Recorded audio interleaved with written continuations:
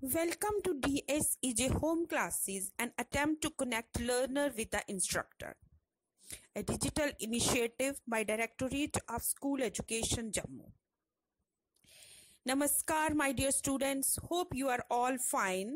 Once again, I am here with a new topic and we are going to start today the chapter Morphology of the Flowering Plants. So let us first of all discuss what actually we mean to say by the term morphology. My dear students, morphology is the branch of biology which deals with the study of external forms and structure of the living organisms. Morphology is the science wherein we study the external structures like when we are studying the plant, if we talk about the roots, stem, leaves, flowers, fruits, actually we are studying morphology. It is very useful branch because by studying the external feature, we can identify a particular organism. And correlating the external features, we are able to group the similar organisms into groups. So it is useful for the purpose of identification, for the purpose of classification. For example, in this figure, I have labeled here the various structures of the plant. For example, this is the root, then is the stem, leaf, flowers, fruit, etc. Nodes, internodes are shown here. When we are studying these external structures, we are actually studying morphology.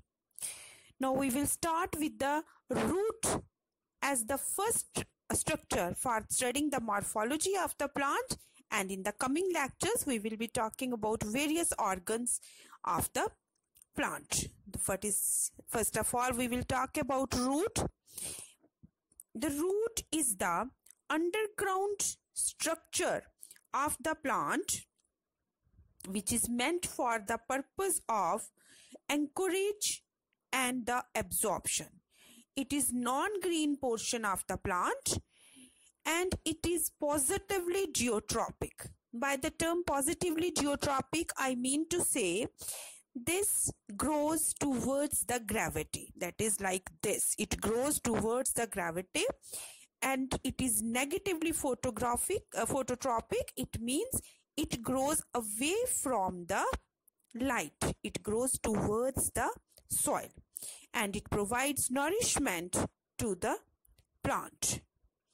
Now, root because it is a diverse organ and diverse variety of plants are there. So there are diverse types of the root systems and accordingly we have classified into two types or the three types sometimes like the tap root system fibrous root system and the adventitious root system. First of all the tap root system it is the feature it is uh, the tap root system it is found in case of the dicots where there is one main root like this this is the one main root and then there are the secondary roots and then there may be the tertiary roots but there is one main root which becomes quite strong and stout and supports the rest of the roots but in case of fibrous roots the root develops from the lower nodes and it is not necessarily that it will develop from the radicle portion of the embryo whereas the taproot it develops from the radicle portion of the embryos. Root develops from the lower nodes. They all are of the same length and there is no primary, secondary or tertiary root like that.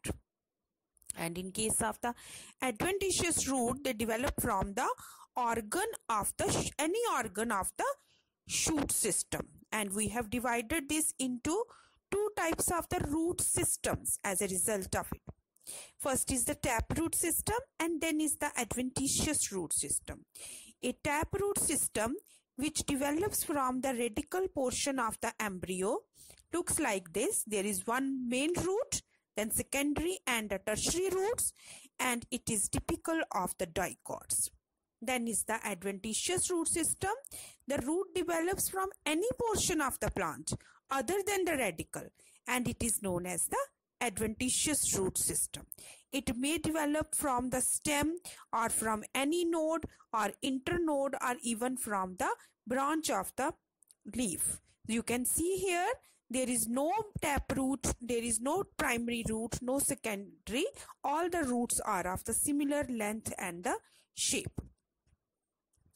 Now my dear students, I have to tell you that root shows different regions in terms of its growth and development. The three regions that we come across in the root are root of meristematic activity, root of uh, uh, sorry region of meristematic activity, region of elongation and region of maturation. Let us talk about these one by one. The first is the region of meristematic activity. there is the meristematic cell zone at the tip of the root but it is subapical in position not at the apex a little away from the apex because of presence of the root cap. The root cap is the layer of the cell which covers the meristematic zone of the cells and provides support to the growing root because root has to grow inside the soil and it provides it protection to the tender meristematic region. This is the meristematic cells divide and increase the number of the cells. Once the cells have divided, they start elongating in this zone. This is called as the region of the elongation. Region of the elongation where the cells they elongate in size. Once they have attained the full-fledged size, uh, size, they enter into the region of maturation. The region of maturation is this one, which may bear the root here later on. And these three regions, the region of meristematic activity, region of elongation, and third one is the region of maturation.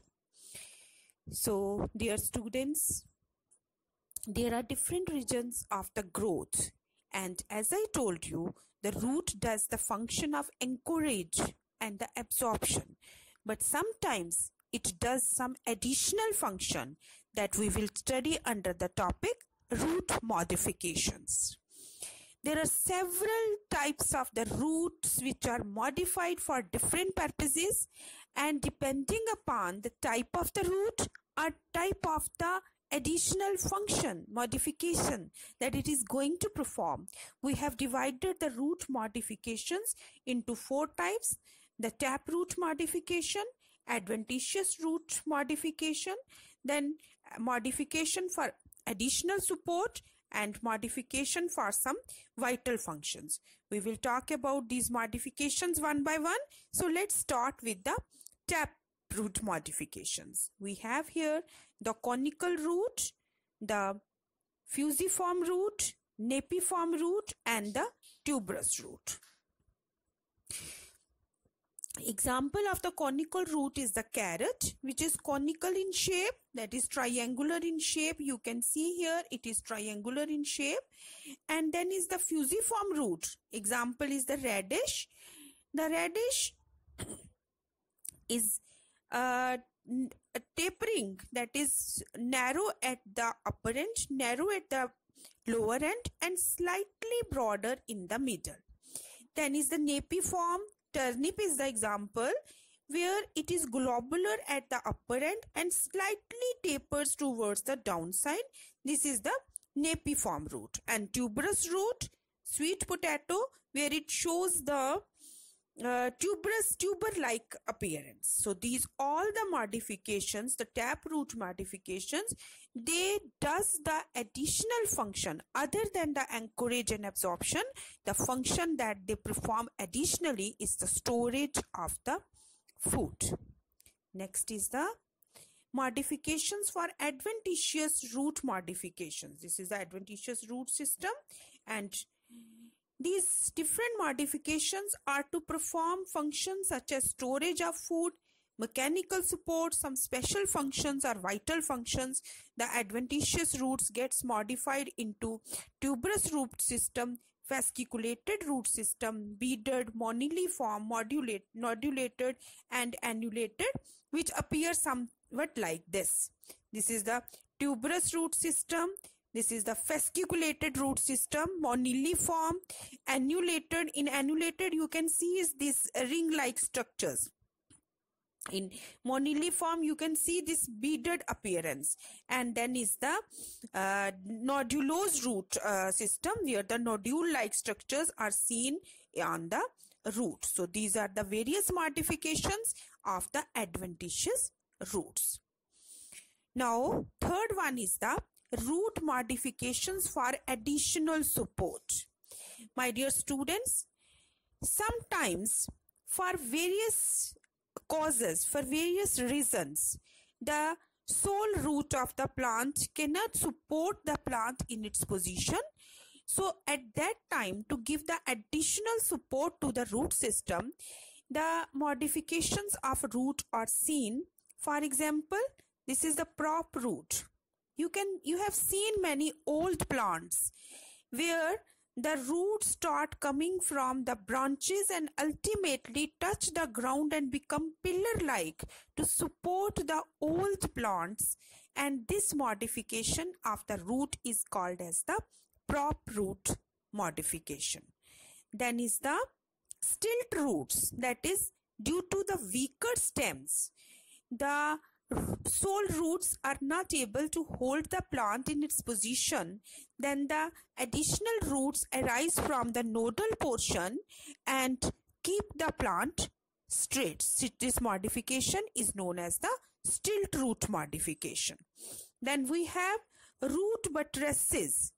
In some plant, uh, sterculia, this, uh, these root buttresses, that is the downwards the root they broaden and enable the plant to keep itself upright. And then there are the climbing roots.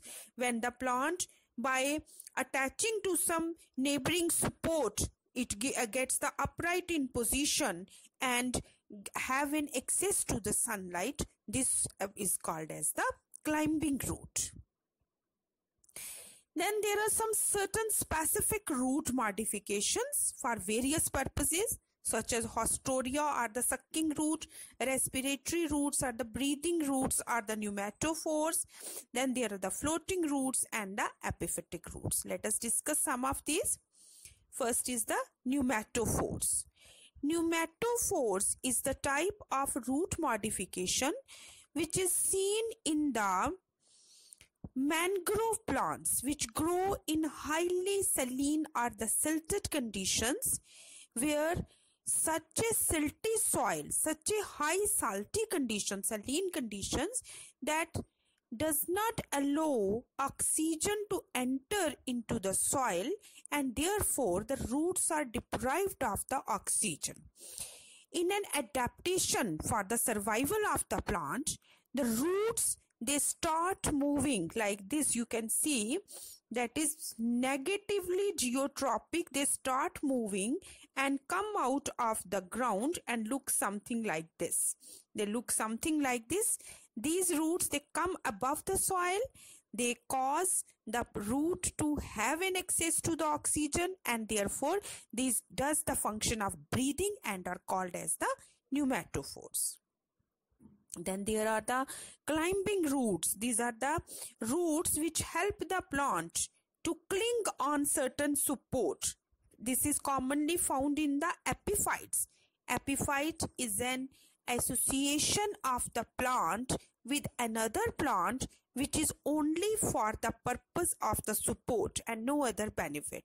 And there the roots develop on the surface of the root uh, on the surface of the other plant in the air. So this is another modification providing some vital functions.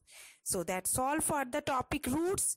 Thank you. Stay safe. Stay healthy till we meet next time. Thank you dear.